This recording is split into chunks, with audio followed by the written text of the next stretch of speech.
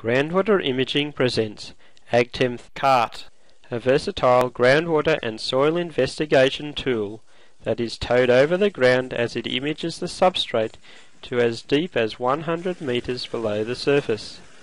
The property imaged is electrical conductivity, which is principally influenced by groundwater presence and salinity. Data is processed and prepared for viewing in Google Earth where we project transect images 100 meters up from the surface for quick comparison with features on the ground and with bore logs stored in state databases. In this example, fresh groundwater in gravel and sand, appearing as purple, is contrasted with saline basement rocks, appearing as red. A high yield bore is situated in the deepest alluvium. The lithological log is presented.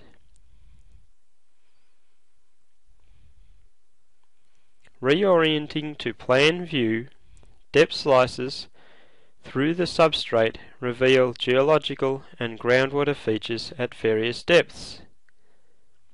Shallow slices are analogous to soil EM images typically used for farm planning.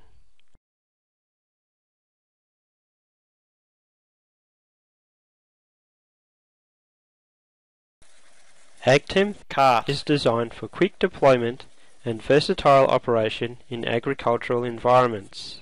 While transmitting up to 50 amps, AgTEM displays 24-bit data on map and sounding displays. Booms suspending the large transmitter loop are elastically held in place, yielding upon impact and can be raised for road travel and obstacle avoidance. AgTEM is an adaptation of airborne electromagnetic technology into a ground-based device suited to farm-scale jobs. It contains various transmitting and receiving antennae.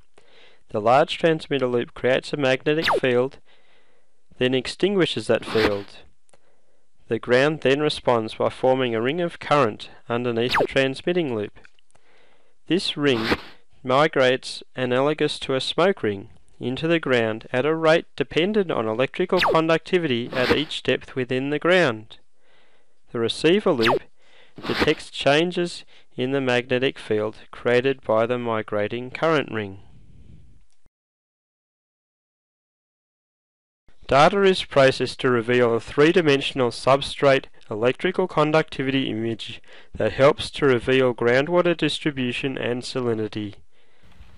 AgTEM is ideal for many farm groundwater and soil investigations and is supplied and deployed by groundwater imaging.